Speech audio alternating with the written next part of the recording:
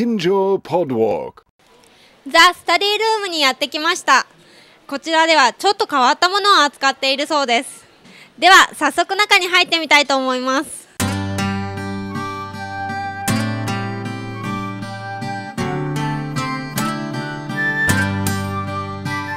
こんにちは。こんにちは。こちらのお店ではどういったものを扱っているんですか？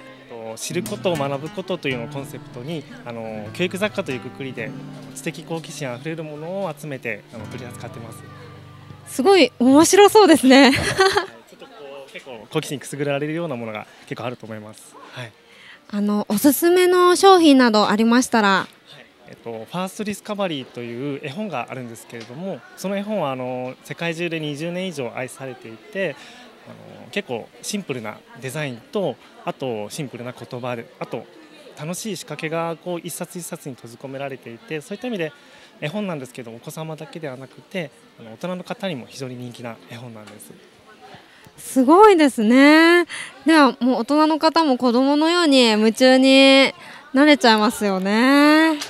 年齢層などはやっぱり広かったりするんですか？そうですね。やはり土日祝日なんかやっぱり小学校ぐらいのお子様を連れたご家族が非常に多いんですけれども平日は本当にサラリーマンですとか、まあ、大人の男性の方40代50代の男性の方もすごく楽しんであの足を運んでくださいます。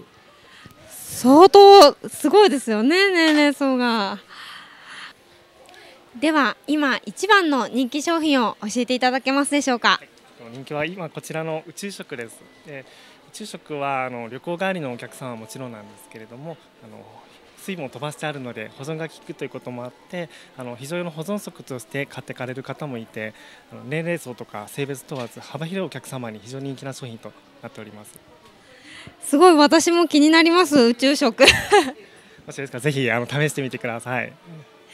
今日はどうもありがとうございました